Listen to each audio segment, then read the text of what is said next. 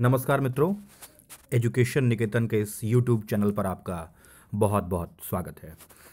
चौंसठवीं प्रारंभिक परीक्षा के उत्तर कुंजी बिहार लोक सेवा आयोग ने जारी कर दिया है। आप सभी लोगों ने आधिकारिक उत्तर कुंजी से मिलान भी कर लिया है और अब कट ऑफ़ के खेल से आगे बढ़ते हुए प्रारंभिक परीक्षा के बाद अब मुख्य परीक्षा, जहाँ की असली खेल और असली प्रतिस्पर्धा प्रारंभ होने वाला है। उसकी आज बात करते हैं। तो बीपीएससी मुख्य परीक्षा के संदर्भ में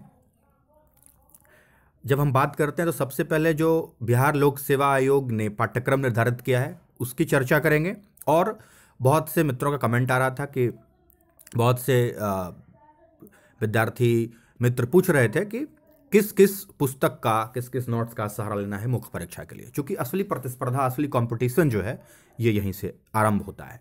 प्रारंभिक परीक्षा तो एक स्क्रीनिंग है। उसमें अधिकांश अभ्यर्थी छटेंगे और जो दस गुना या बारह गुना जो निर्धारित है आयोग के अनुसार, वो मुख्य परीक्षा में सम्मिलित होंगे। तो आज हम बात करते हैं कि मुख्य परीक्षा के लिए विभिन्न बुक लिस्ट और उसकी तैयारी कैसे करें, उत्तर लेखन की रणनीति क्या होगी। तो सबसे पहले पाठ्यक्रम की बात करते हैं। सामान्य हिंदी जो है, एक सौ अंकों का है। समय तीन घंटे होंगे परीक्षा में आपके लिए और ये सामान्य हिंदी जो है आपके मेरिट यानी कि मेधा में जोड़े नहीं जाएँगे। मेरिट लिस्ट में ऐड नहीं होगा ये अंक। आपको सिर्फ़ अहर्तांक प्राप्त करना है तैतीस प्रतिशत, एक सौ में से। दूसरा है समान अध्ययन प्रश्न पत्र एक। ये तीन सौ अंकों का है और ये तीन घंटे इसके लिए समय निर्धारित है। यहाँ से जो है आपके अंक मेधा सूची में निर्धारित होंगे, जोड़े जाएँगे। सामान्य अध्ययन प्रश्न पत्र दो, ये तीन सौ अंकों का होगा और ये भी तीन घंटों का होगा। फिर वैकल्पिक विषय वैकल्पिक विषय तीन सौ अंकों का और समय तीन घंटे। यानी कि कुल लिखित परीक्षा जो है समान अध्ययन प्रश्न पत्र एक समान अध्ययन प्रश्न पत्र दो और वैकल्पिक विषय और सामान्य हिंदी मिलाकर एक हज़ार अंकों का है, जिसमें कि 900 अंक, अंकों की अंकों के आधार पर एक मेधा सूची तैयार की जाएगी और अंत में साक्षात्कार 120 अंकों का है। यानी कि कुल 1120 अंकों के लिए आपको प्रतिस्पर्धा करना है। अब हम बात करते हैं कि सामान्य हिंदी में जो सिलेबस आयोग ने दिया है, उसको विभाजित किया है कि किस सेक्शन से कितने अंकों का प्रश्न पूछा जाएगा। तो निबंध तीस अंकों का, जिसमें कि तीन चार टॉपिक रहेंगे, उसमें से आपको किसी एक पर निबंध लिखना है। व्याकरण होगा तीस अंकों का व्याकरण यानी कि संधि, समास आदि इस पर प्रश्न बनते हैं, सर्वनाम संज्ञा आदि पर। फिर वाक्य विन्यास होगा, ये पच्चीस अंकों का होगा और संक्षेपण पंद्रह का संक्षेपण पंद्रह अंकों का होगा, यानी कि कुल मिलाकर एक सौ अंकों का, ये समान हिंदी है। दूसरा समान अध्ययन प्रश्न पत्र एक पर आते हैं। इसमें जो आयोग ने सिलेबस निर्धारित किया है, उसके आधार पर पहला जो खंड है, समान अध्ययन प्रश्न पत्र एक का जो पहला खंड है, वो है भारत का आधुनिक इतिहास और भारतीय संस्कृति। दूसरे खंड में है राष्ट्रीय और अंतर्राष्ट्रीय महत्व का वर्तमान घटनाक्रम।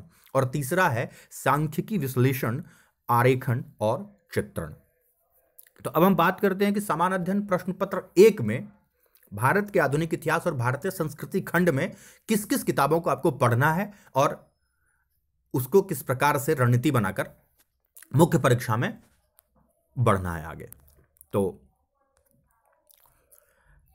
अध्ययन सामग्री के रूप में अगर बात करें तो पुस्तक सूची जो है, सीमित रखें, स्तरीय रखें, प्रभावी रखें। एक पुस्तक को बार बार पढ़ें, बजाबते की छह सात पुस्तकों को आप एक एक बार पढ़ रहे हैं। तो प्रश्न पत्र पुस्तक सूची जो है, प्रश्न पत्र एक के लिए वो मैं मैं बता रहा हूँ आपको कि भारत का स्वतंत्रता संघर्ष, बिपिन चंद्र, प्रामाणिक और स्तरीय बुक है यूपीएससी से लेकर अन्य राज्य स्तरीय सेवाओं के लिए एक प्रामाणिक और स्तरीय बुक माना जाता है। इसको पढ़िए, भारत का स्वतंत्रता संघर्ष। बिहार लोक सेवा आयोग में आधुनिक इतिहास से जो प्रश्न आते हैं, आपको सभी किताब से कवर हो जाएँगे। इसके अलावा आप पढ़ना चाहें तो भारत का आधुनिक इतिहास, जो स्पेक्ट्रम है, राजीव अहिर जो लेखक हैं, उसको पढ़ सकते हैं। और बेसिक कॉन्सेप्ट चूँकि क्लियर करना है आपको, शुरुआत से पढ़ना चाहते हैं, कोई नहीं, पढ़ते हैं टाइम है, समय है, या जो पैंसठवीं के लिए के लिए तैयारी कर रहे हैं तो उनके लिए एन e जो है आधुनिक भारत का इतिहास से वो वहाँ से शुरू कर सकते हैं। रही बात, चूँकि भारत का आधुनिक इतिहास के साथ साथ उसमें दूसरा जो सेगमेंट है, वो भारतीय कला एवं संस्कृति है। तो कला एवं संस्कृति के लिए उसमें जो सिलेबस में मुख्य रूप से स्पष्ट तौर पर लिखा हुआ है मौर्य पालकला और पटना कलम इसमें से हर एक वर्ष एक प्रश्न आता है। या तो मौर्य कला या तो पालकला, या तो पटना कलम से एक प्रश्न बिहार लोक सेवा आयोग पूछती ही पूछती है। तो इसके लिए आप सार्थक पब्लिकेशन का जो किताब है, भारतीय कला संस्कृति, उसको पढ़ सकते हैं। सार्थक पब्लिकेशन डॉक्टर संजय सिंह और कुमार सर्वेश्वर का लिखा हुआ है। या फिर आप इम्तियाज़ अहमद का भी भारतीय इतिहास, जो मौर्य कला वाला पार्ट है, उसका पढ़ सकते हैं। वहाँ से आप मौर्य कला पाल कला और पटना कलम का तैयारी वहाँ से कर सकते हैं। तो ये आप समान अध्ययन प्रश्न पत्र एक का, जो पहला खंड है, भारत का आधुनिक इतिहास और कला संस्कृति, ये आपका यहाँ से कंप्लीट हो जाएगा। इससे क्वेश्चन आप हंड्रेड परसेंट यहाँ से आप कर लेंगे, क्योंकि ये बहुत प्रमाणिक विषय सूची मैंने पुस्तक सूची दिया है आपको, और बार बार आपको इसको पढ़ना है। दूसरा खंड जो है, भारत का राष्ट्रीय राष्ट्रीय अंतर्राष्ट्रीय घटनाक्रम। तो राष्ट्रीय अंतर्राष्ट्रीय घटनाक्रम एक ऐसा ब्रॉड हो जाता है। स्पेक्ट चूँकि एक साल में जो राष्ट्रीय और अंतर्राष्ट्रीय स्तर पर घटनाक्रम घटित हुई है, उससे संबंधित सवाल पूछे जाते हैं। और ये एक विस्तृत क्षेत्र है। इसलिए इसको थोड़ा स्मार्ट रणनीति से आपको हैंडल करना है। तो मैं बता देता हूँ कि आपको इसमें क्या क्या पढ़ना है। सबसे पहले तो आप, जो भारत सरकार की आधिकारिक वेबसाइट है, प्रेस इन्फॉर्मेशन ब्यूरो की, उस पर डेली बेसिस पर जो आर्टिकल आते हैं, आप उसको पढ़िए। राष्ट्रीय और अंतर्राष्ट्रीय स्तर पर पीआईबी की वेबसाइट पर एन इसका वेबसाइट लिंक है। उसको आप सर्च करके पढ़ सकते हैं। दूसरा, बिहार सरकार का आधिकारिक वेबसाइट पढ़िए अगर बिहार से रिलेटेड कुछ क्वेश्चंस आते हैं तो बिहार सरकार का जो आधिकारिक वेबसाइट है, जहाँ की आपको प्रामाणिक आंकड़े और तथ्य मिलेंगे, आप वहाँ उसको पढ़िए। और बिहार की आर्थिक समीक्षा, मुख्य तौर पर बजट के प्रावधान और कृषि रोड मैप अब बात करते हैं पत्रिका की। एक पत्रिका अवश्य पढ़िए। राष्ट्रीय एक राष्ट्रीय अखबार के साथ साथ एक पत्रिका ज़रूर पढ़िए। उसमें आप सिविल सर्विसेज़ क्रॉनिकल प्रतियोगिता दर्पण और दृष्टि करंट अफेयर्स टुडे में से कोई एक पढ़ सकते हैं। और योजना और कुरुक्षेत्र पढ़िए ही पढ़िए। ये भारत सरकार की सूचना और प्रकाशन विभाग की अपनी पत्रिका है। और नेट पर आधारित प्रमुख सम, जो समसामायिक साइट्स हैं जैसे कि मुंडाल है जीके टुडे है जागरण जोश डॉट कॉम है उस पर कुछ आर्टिकल अगर आपको आता है तो आप उसको अपने डायरी में नोट कर सकते हैं। ये है समान अध्ययन प्रश्न पत्र एक का, भारतीय इतिहास खंड बता दिया मैंने, और राष्ट्रीय अंतर्राष्ट्रीय घटनाक्रम। अब तीसरा और अंतिम खंड पे आते हैं, जो कि है आपका सांख्यिकी विश्लेषण, आरेखन और चित्रण। तो सांख्यिकी विश्लेषण, आरेखन और चित्रण बहुत महत्वपूर्ण पार्ट है। समान अध्ययन प्रश्न पत्र एक में अगर आपको अच्छा स्कोर करना है तो इसको दरकिनार करके आप नहीं कर सकते हैं, क्योंकि बहत्तर अंकों का एक प्रश्न है इसमें, बहत्तर अंकों का सांख्यिकी से सिर्फ़ और सिर्फ़ प्रश्न है। तो आप इसको जैसे दरकिनार करेंगे तो ये आप पीछे पीछे रह जाएँगे। तो इसलिए महत्वपूर्ण है कि आप इसको पढ़ें और अच्छे से पढ़ें। तो गणित के लिए जो बेसिक्स, अगर जिसकी जिन जिन, जिनकी अच्छी नहीं है, उनको पढ़ना है तो औसत, प्रतिशतता, साधारण ब्याज और चक्रवृद्धि ब्याज, ये कर लें हल। आर एस अग्रवाल की जो गणित आती है, उससे सामान्य गणित। और सांख्यिकी, जैसे डाटा इंटरप्रिटेशन है तो डेटा इंटरप्रिटेशन के लिए पाई चार्ट, पाई डायग्राम आदि के लिए स्पेक्ट्रम पब्लिकेशन की जो सांख्यिकी की पुस्तक है, आप उससे प्रैक्टिस कर सकते हैं। और पिछले पंद्रह वर्षों में बिहार लोक सेवा आयोग ने जो स्टैटिस्टिक्स पूछा है, उसका आप हल कर लीजिए। यहाँ से आप अच्छा अंक ला सकते हैं और ये आपको लीड दे देगा स्टैटिस्टिक्स तो ये बात प्रश्न पत्र एक खत्म हो गया। अब हम आते हैं प्रश्न पत्र दो पर। तो प्रश्न पत्र दो जो है, उसमें है कि भारतीय राज्य व्यवस्था का जो खंड है तो भारतीय राज्य व्यवस्था के खंड में भारतीय राज्य व्यवस्था का जो खंड है, उसमें आप एम लक्ष्मीकांत, बहुत ही मानक, स्तरीय और प्रभावी पुस्तक है, महत्वपूर्ण पुस्तक है। इसमें से बहुत सारे चैप्टर आपके कंप्लीट हो जाएँगे। भारतीय राज्य व्यवस्था एम लक्ष्मीकांत को पढ़िए और डी डी बसु को आप रेफरेंस बुक मान के चल सकते हैं। अगर और ज़्यादा पढ़ना चाहें, वैसे एम लक्ष्मीकांत काफ़ी है, फिर भी आप डी डी बसु पढ़ सकते हैं। और बिहार आधारित जो राज्य व्यवस्था के समाज के प्रश्न आते हैं। उसके लिए आप बिहार का जो समाचार पत्र आता है, उसका जो संपादकीय है, जो जिस, जिसमें कि बिहार की राजनीति, बिहार का राज्य व्यवस्था से संबंधित प्रश्न आते हैं, उसको आप संपादकीय पढ़ सकते हैं। और अंतर्राष्ट्रीय राजनीति पर समाचार पत्र के संपादकीय पढ़िए, जो दैनिक जागरण, जनसत्ता या हिंदू या इंडियन एक्सप्रेस में जो भी आता है। तो ये आपका राज्य व्यवस्था वाला जो खंड है, उसमें है।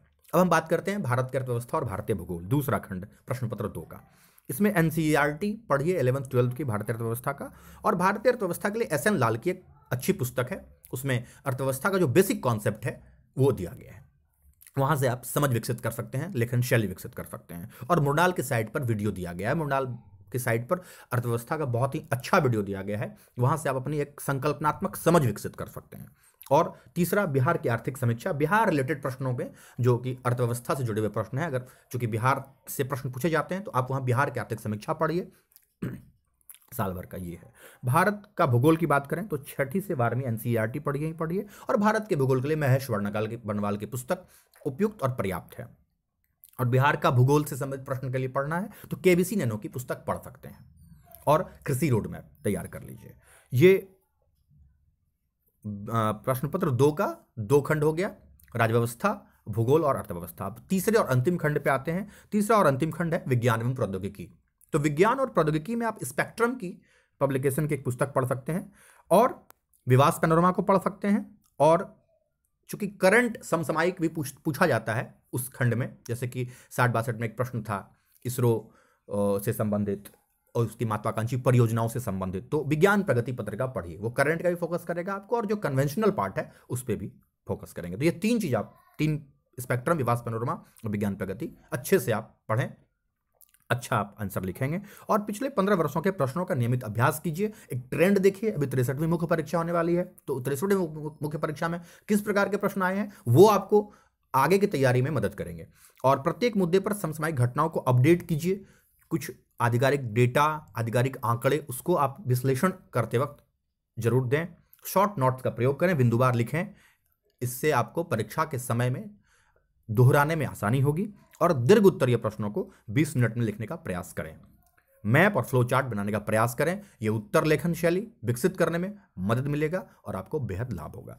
तो मुख्य परीक्षा की रणनीति के लिए आज बस इतना ही। फिर मिलते हैं अगले वीडियो में अगली रणनीति के लिए। बहुत बहुत धन्यवाद।